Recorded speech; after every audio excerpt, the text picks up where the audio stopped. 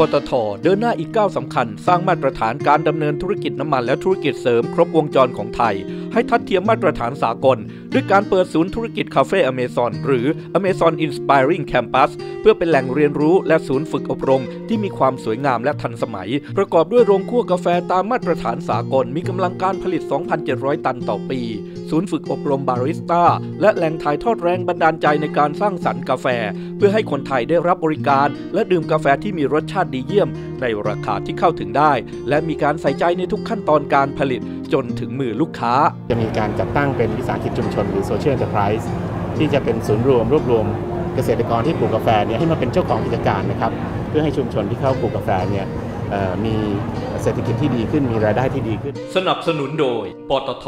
พลัง ที่ยั่งยืน